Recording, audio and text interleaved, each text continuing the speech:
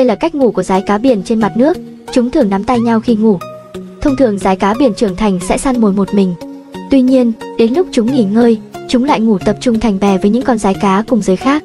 Việc rái cá mẹ và rái cá con nắm tay nhau để chúng không bị cuốn ra xa nhau trong khi ngủ là điều khá phổ biến. Ngoài ra, chúng còn biết cách dùng tàu bẹ để cuốn mình lại, để giữ cho chúng không bị trôi.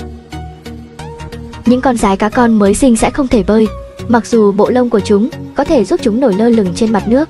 Sái cá mẹ sẽ nuôi dưỡng con của mình trên ngực và nhanh chóng dạy chúng bơi và săn mồi. Đặc biệt, những con rái cá thông minh còn biết sử dụng công cụ.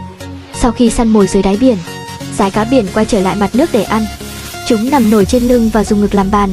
Sau đó, đập con mồi vào đá để phá vỡ phần vỏ và ăn phần bên trong.